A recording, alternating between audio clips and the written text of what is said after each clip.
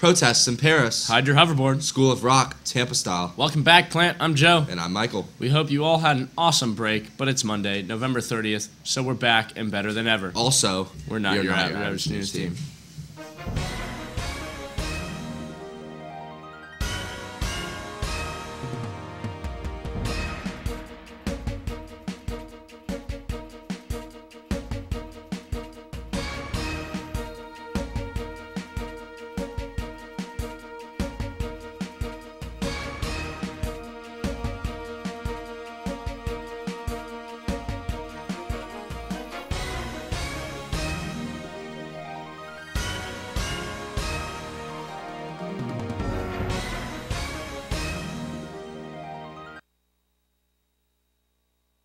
Marched worldwide yesterday to demand action to stop climate change, the day before a UN summit starts in Paris. However, due to the state of emergency in Paris after the recent attacks, many protests were canceled, encouraging thousands of those who planned on marching to simply leave their shoes instead, including a pair from the Pope.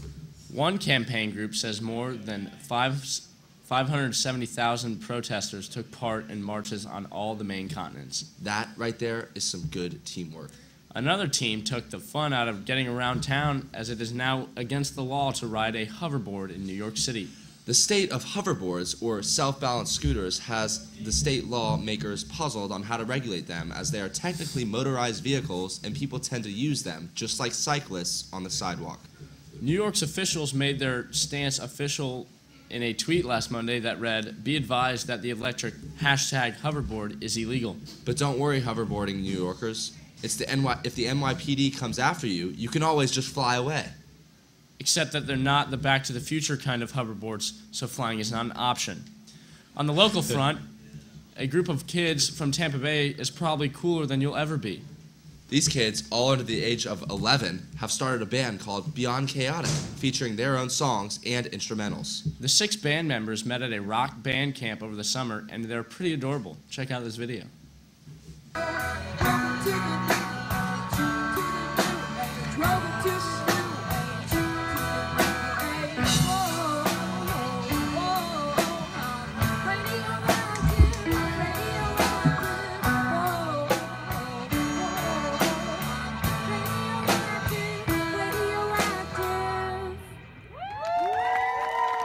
Hey, I'm in the yearbook. Oh, snap.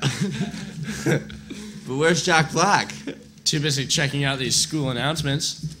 Over the break, we had some pretty sorry. We had some pretty cool athleticism coming out of Plant. Mr. Nelson, Miss Melnick, and Miss Rainbow competed in a blow-up obstacle course 5K and apparently crushed it, or at least they finished it, which counts, right?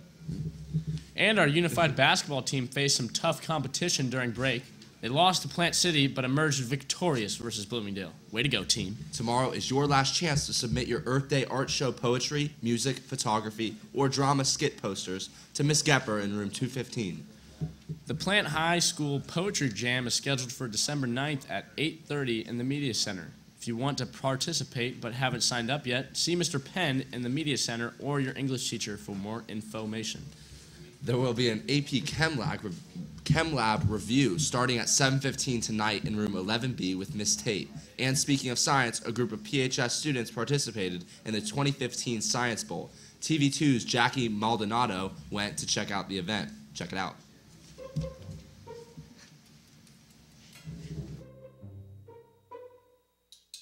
The Science Bowl is basically just a test of how well we know the information and how well we can apply the information. Uh, we compete in four events, the uh, problem solving event, the quiz bowl event, the chemical reactions balancing event, and the desktop trebuchet building event. Uh, I'm part of the trivia team. I just answer random science questions. I'm in quiz bowl, so basically we see a question, we hit a button, we answer. Doing logic puzzles and trebuchet building competition problem solving and the trebuchet competition. We've generally done very well, either placing first or second um, for the past five years. So uh, we're, we're expecting to do that well again today. Look around at these other teams. They have nothing on them. I can tell right now their trebuchets are going to be bad.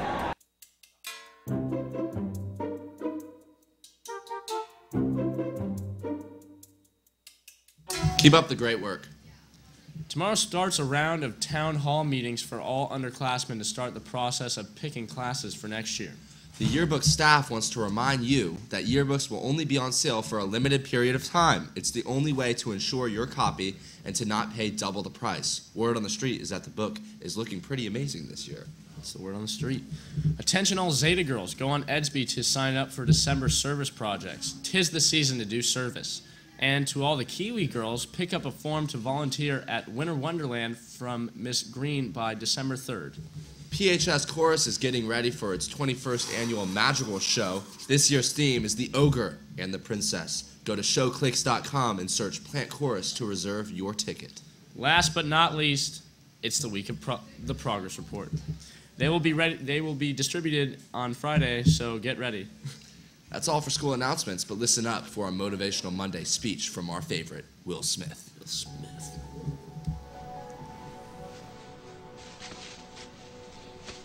Hey. Don't ever let somebody tell you you can't do something. Not even me. All right? Alright. You got a dream, you got to protect it.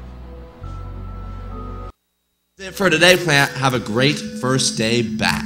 The countdown starts now. 21 days till Christmas